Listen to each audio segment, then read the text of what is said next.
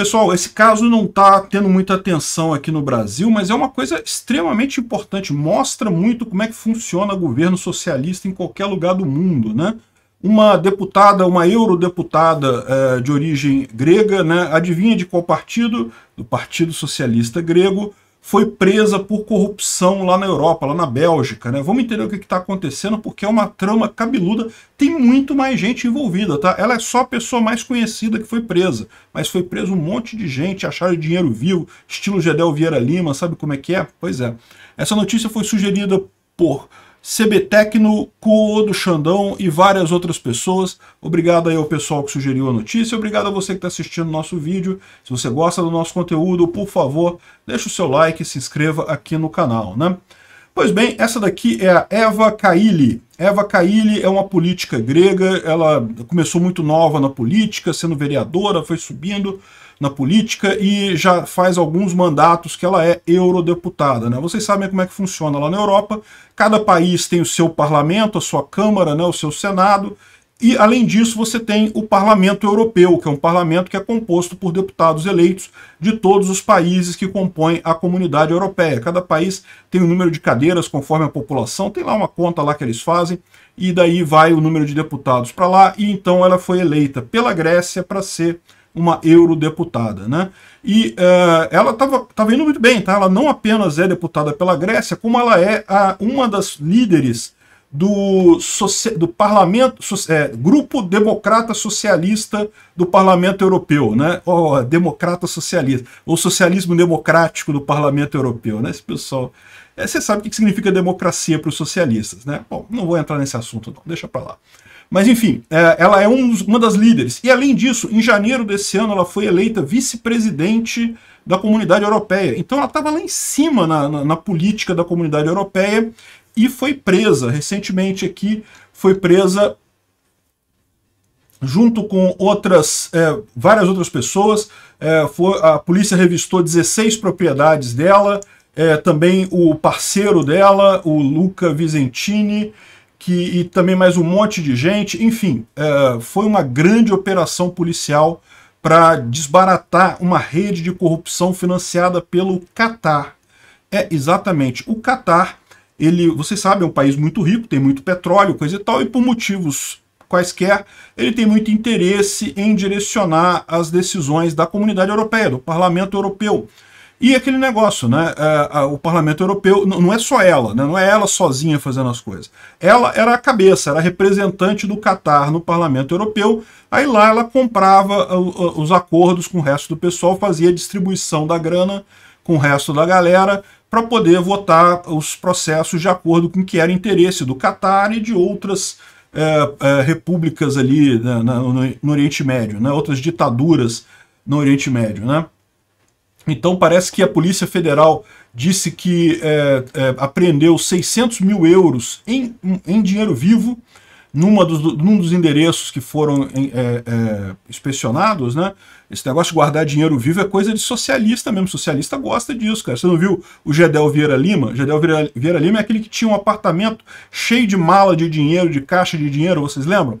Pois é, ele foi preso, já foi solto e adivinha, já tá no governo Lula. É, meu amigo, quando você for pagar imposto daqui para frente, lembra que você está dando dinheiro para o governo para ele encher de novo o cofrinho do, do Gedel Vieira Lima, né? Porque, pô, tadinho do Gedel, ficou sem as malinhas de dinheiro dele. Agora tem que encher de novo de dinheiro, né? Pô, sacanagem, não é isso? Enfim, uh, e ela aparentemente é a mesma coisa. Não é por acaso que é socialista, é lógico, né? O socialismo é aquela ideia realmente de um Estado grande, controlador, para fazer o quê? Para fazer o quê? para roubar dinheiro das pessoas. É para isso que serve o socialismo, não serve mais para nada. Não dá certo em lugar nenhum, só serve para o governo ficar grande e o pessoal poder roubar muito, né? que é o padrão dos partidos comunistas e socialistas por aí. Né? Inclusive, a gente vai perceber isso claramente a partir do ano que vem aqui no Brasil. Né? Enfim, eh, a investigação, portanto, não é só ela, ela está sendo foco agora porque era a pessoa mais importante do grupo ali que foi preso, mas foi preso um monte de gente e a investigação continua, porque ela comprava outros deputados, né, outros eurodeputados lá na, na uh, no Parlamento Europeu para votar em favor de coisas pelo Catar. Né? Entre as muitas coisas que ela votou a favor, olha só uma coisa que é bem indicativa, né? ela, por exemplo, votou contra uh, o parlamento censurar o Catar devido às mortes de imigrantes para a Copa do Mundo, né? O Catar, vocês sabem, construiu um monte de estádio bacana para a Copa do Mundo, né? Só que para construir esses estádios todos, a população do Catar é relativamente pequena, então ele trouxe muitos imigrantes para construir esses estádios lá e aparentemente as condições de trabalho não eram as melhores possíveis ou tinha algum desleixo com os trabalhadores, ou sei lá, os trabalhadores é, eram muito azarados e viviam caindo dos andaimes, alguma coisa assim. O fato é que morreu muito trabalhador nessa Copa do Catar, né? E evidentemente isso gerou uma certa repercussão mundial. O pessoal ficou meio preocupado, né? Pô, peraí, como é que pode isso? Um monte de gente morrendo no Catar é, desde, que, desde o momento que eles começaram essa construção da, da, dos estádios, né? O Catar em si, o governo do Catar fala que oficialmente só morreram três pessoas na construção em si dos estádios, mas o pessoal não está acreditando muito não. É aquilo que eu falo, né? Ditaduras, é, o cara mente por número, não tem, não tem ninguém para dizer que o número está errado, não tem ninguém para fazer o contraditório desse número. Então o cara fala que é três e pronto, e acabou. É igual o Xi Jinping dizendo que a China está crescendo, a gente sabe que não está, mas ele fala que está. E aí, quem é que vai dizer que não está, né?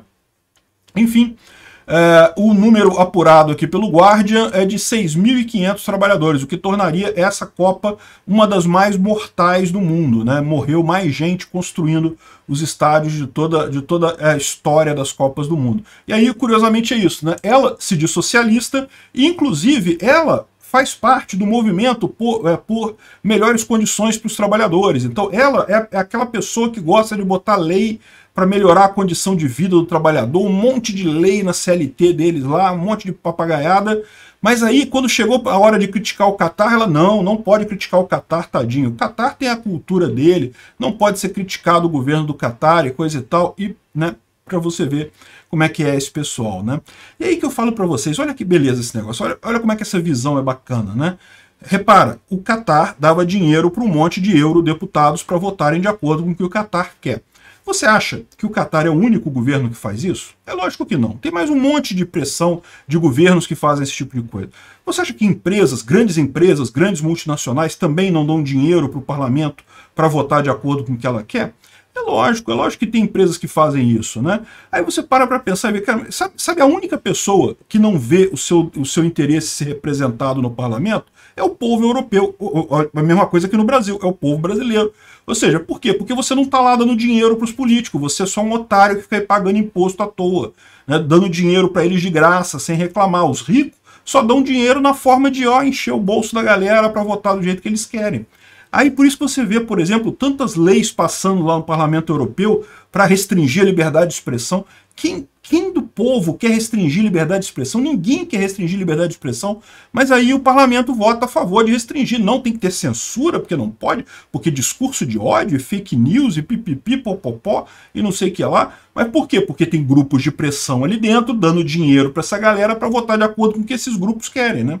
Essa ideia de representação é por si só idiota. É o que eu falo. Governo não tem chance. O que você tem que fazer é você escolher o governo que você quer participar. Isso é o anarcocapitalismo, isso é libertarianismo. Deveria ter vários governos disputando no mercado o serviço de fornecer segurança para você e você escolhe qual governo que você quer fazer parte, porque isso que é de fato que é, é o anarcocapitalismo, né? Você ter toda a decisão, toda a estrutura do governo dentro do mercado. Imagina, se você pudesse agora, ao invés de você fazer uma votação, como a gente fez aqui no Brasil, de escolher entre Lula e Bolsonaro, quem quer ter um governo do Bolsonaro, assina um contrato lá com o governo do Bolsonaro, paga os impostos que o Bolsonaro quer e pronto, beleza. Quem quer ser governado pelo Lula, assina um contrato lá com o Lula e pronto. E faz as coisas todas pelo Lula lá. Quem é, assinou pelo Lula vai ter mais benefícios sociais, mais CLT, mais um monte de regra, vai pagar mais caro, porque ele quer mais impostos e coisa e tal, mas isso não me afeta. Eu ia para outro lado, pronto, tranquilo, não me afetou em nada, deixa o pessoal lá pagando imposto dele. O problema da, da, do Estado do jeito que ele é hoje é justamente o monopólio, ele só tem um naquele lugar, né? E não, não tem problema nenhum o fato de terem leis diferentes no mesmo lugar, porque isso é um problema que já é resolvido há muito tempo com, com tribunais internacionais que já trabalham com leis diferentes sendo aplicadas ao mesmo caso. Isso é bem comum, já tem protocolos à vontade para isso por aí, né? Enfim, esse é o caso, né? Ela estava recebendo grana do Catar, está sendo investigada ainda, mas já está presa em prisão preventiva, ela e mais uma, um monte de gente. E uh, aqui no, no Globo, eu fiquei curioso, falando, o Globo vai falar que ela é do, do Partido Socialista? falou que é do Partido Socialista, mas ela já fala aqui, ó, não, mas a congressista ela é uma figura controversa no Partido Socialista grego. Daqui a pouco vão dizer que ela é conservadora, hein? Olha só o que vão chegar falando aqui no Globo, pode ter certeza. O Globo comemorou o Castilho ter ganhado lá no Peru. Quando o Castilho foi destituído e preso, não, porque o Castilho é um político conservador e coisa e tal.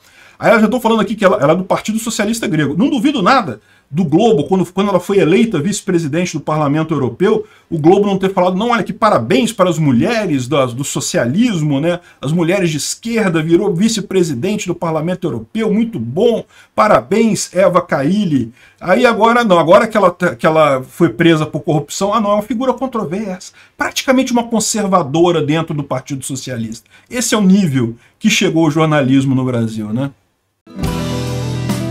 Obrigado por assistir o vídeo até o final. Além de curtir, compartilhar e se inscrever no canal, considere se tornar patrocinador com valores a partir de R$ 1,99. Clique no botão Seja Membro abaixo para saber as condições e vantagens de patrocinar o canal. Mais informações sobre o nosso projeto, visite nossos sites indicados na tela.